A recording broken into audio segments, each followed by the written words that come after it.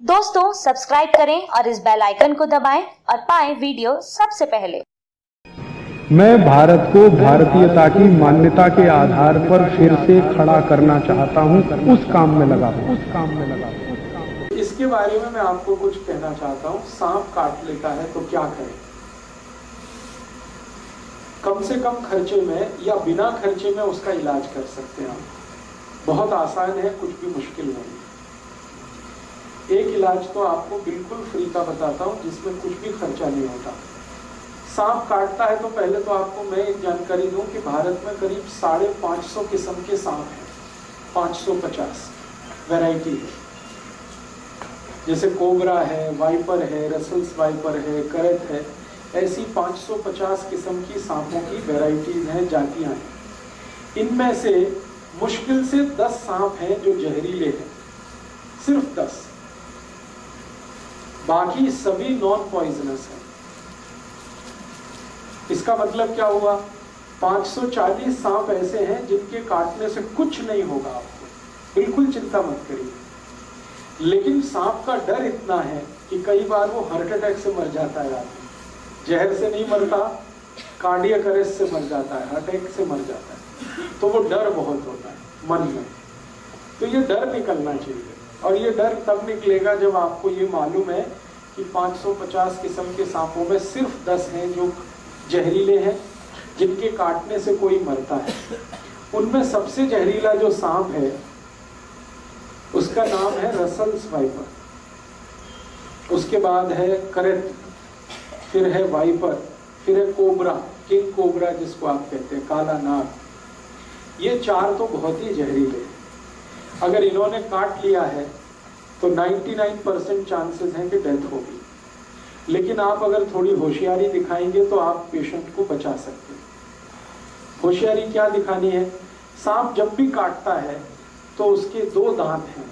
आप अगर उसका मुँह खुला हुआ कभी भी देखेंगे तो सामने के दो दांत होते हैं, उनमें पॉइजन है।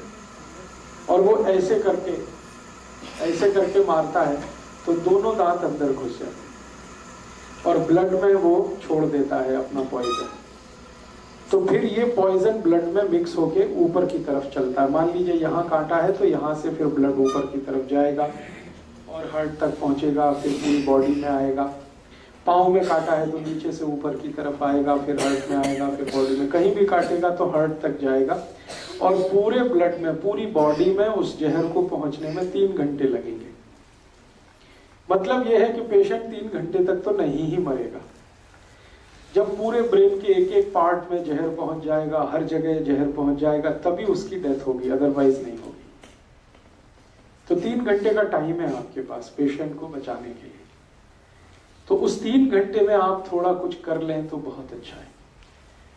क्या कर सकते हैं? सबसे आसान एक तरीका है कि हमारे घर में एक पुराना कोई इंजेक्शन इंजेक्शन सिरिंज वाला होता है ना जिससे हम इंजेक्ट करते हैं। तो उसमें आगे जो सुई वाला पार्ट है उसको कट करना है ब्लेड से। इंजेक्शन में आगे जो सुई निडल लगाते हैं सुई को काटना नहीं नहीं सुई को जहाँ लगाते हैं वो पार्ट कट करना है। प्लास्टिक वाला। प्लास्टिक वाला यस तो जैसे ही आप उसको कट करेंगे तो वो एक सक्शन पाइप के जैसा हो जाएगा इंजेक्शन है ना? पाइप जैसा हो जाएगा। पीछे उसमें खींचने के लिए सक्शन हो गया और आगे वो होल है। तो आपको सिर्फ़ ये करना है कि बॉडी में जहाँ भी सांप ने उसको काटा है, वो दोनों पॉइंट्स आपको ढूँढने हैं। और वो इजीली लोकेट हो जाते हैं। कैसे लोकेट होते हैं? जहाँ भी सांप काटता है तो वहाँ सूजन आ जाती है, तुरंत इमीडिएट स्वेलिंग आ जाती है। तो बॉडी में कहीं भी हिस्सा फूला हुआ आपको दिख गया तो बस वहीं ढूंढेंगे, दोनों निशान उसके दांत के देख जाएँगे टॉर्च लगा के देखेंगे तो बिल्कुल साफ़ दिखते हैं। अब क्या करना है कि जो इंजेक्शन आपने सिरिंज वाला आगे से कट कर दिया, जहाँ पे निडल लगाते हैं तो उसका जो होल है, उसको जहाँ छेद है, वहाँ पे रख के खींचना है पीछे से। सक्शन पाइप की तरह से उसको यूज़ करें। तो जैसे आप खींचना शुरू करेंगे तो वैक्यूम बन जाएगा। वैक्यूम बन जाएगा।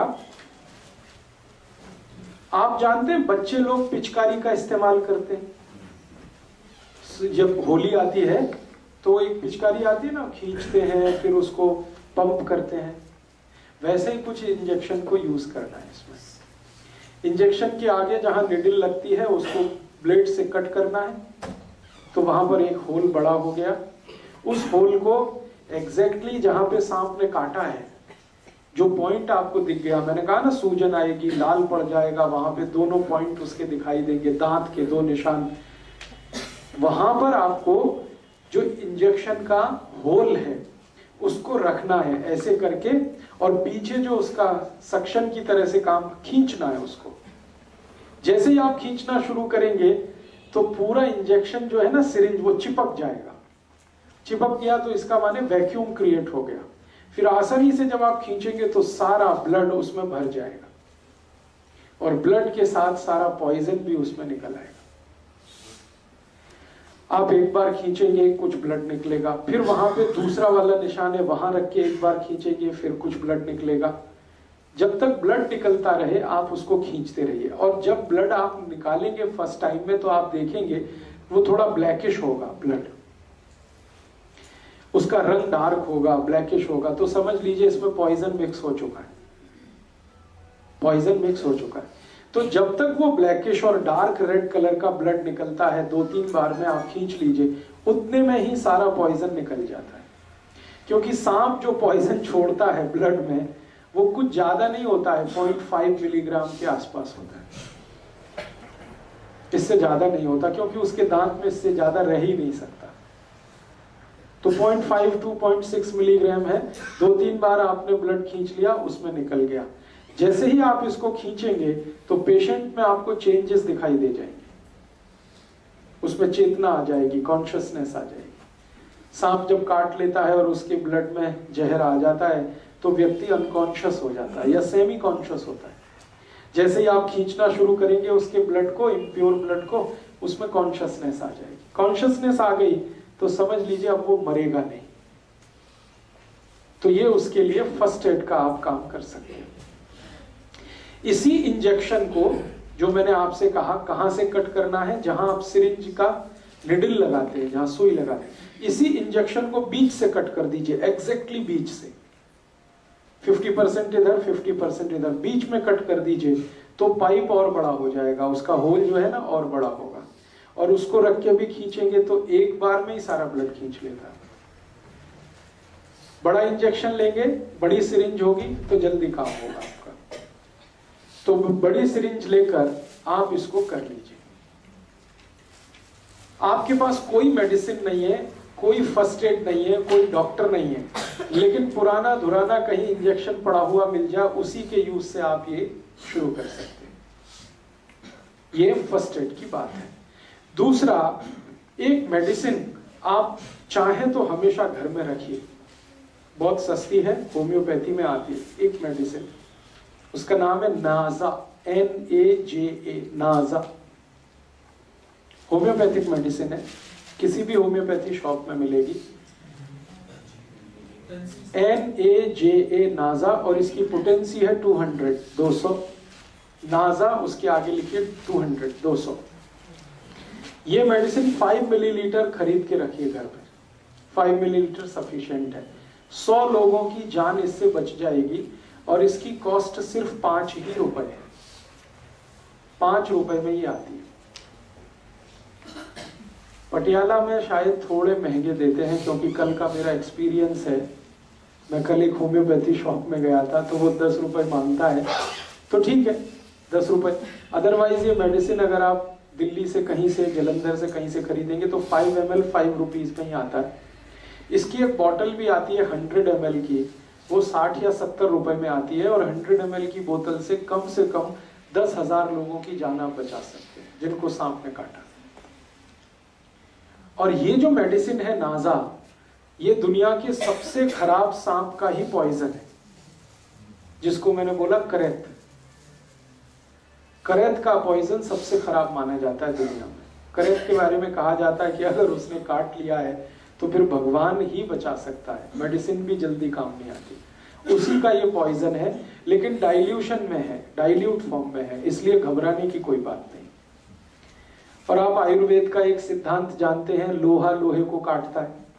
जब जहर चला जाता है शरीर में तो दूसरे जहर की मदद से ही वो बाहर आता है।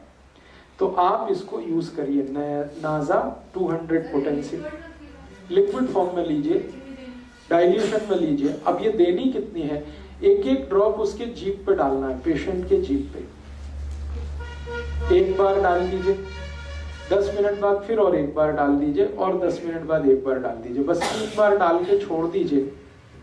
ये पेशेंट की ज़िंदगी को हमेशा के लिए बचा लेगी। और मैंने आपसे कहा कि एलोपैथी में जो एंटी वेनम इंजेक्शन है, वो अवेलेबल नहीं होते। आप अगर पटियाला का कोई सरकारी अस्पताल हो, वहाँ जाके पूछे तो कहेगा, नहीं, अवेलेबल है। वो कहेगा, चंडीगढ़ जाओ, या कहेगा, पीजीआई लेके जाओ। अब चंडीगढ़ आप लेके जा रहे हैं, पीजीआई लेके जा रहे हैं, वहाँ भी इंजेक्शन मिलेगा तो दस पंद्रह हज़ार से लेके बीस हज़ार के बीच में उसकी कीमत है। और वो आठ दस इंजेक्शन ठोक देंगे एक साथ। कभी कभी पंद्रह तक ठोक देते इस तरह से तो आपका लाख रुपए तो गया, डेढ़ लाख तो गया। और यहाँ सिर्फ़ दस रुपए की मेडिसिन में आप उसकी जान बचा सकते हैं। इंजेक्शन जितना इफ़ेक्टिव है, मैं इस दवा की गारंटी देता हूँ हंड्रेड टाइम्स ये मेडिसिन उससे ज़्यादा इफ़ेक्टिव है। इंजेक्शन की तुलना में एंटीवेनम इंजेक्शन की। तो एक ये जानकारी आप हमेशा याद रखिए अपने जीवन में, पता नहीं कब काम आ जाए। हो सकता है आपके ही जीवन में काम आ जाए, हो सकता है आपके फैमिली के किसी के या पड़ोसी के किसी के, ये मालूम रहे आपके पास कि ये मेडिसिन नाजा है अवेलेबल है। होम्योपैथी की किसी भी दुकान पे आसानी से मिल सकती है। आप जाके खुद खरीद के इसको घर में रख सकते हैं लिक्विड फॉर्म में ले लीजिएगा। जब भी किसी को सांप ने काटा है, इसकी एक एक ड्रॉप 10 मिनट के अंतर पर तीन बार जीप पे डाल दीजिएगा। बस इतना सा ट्रीटमेंट तो सांप के काटने का इलाज आप इससे कर सकते हैं, अपना भी, दूसरों का भी। दोस्तों, सबसे पहले तो चैनल सब्सक्राइब करें, फिर लाइक, कमेंट और शेयर करें। और हाँ हमारा एंड्रॉयड ऐप डाउनलोड करना ना भूलें।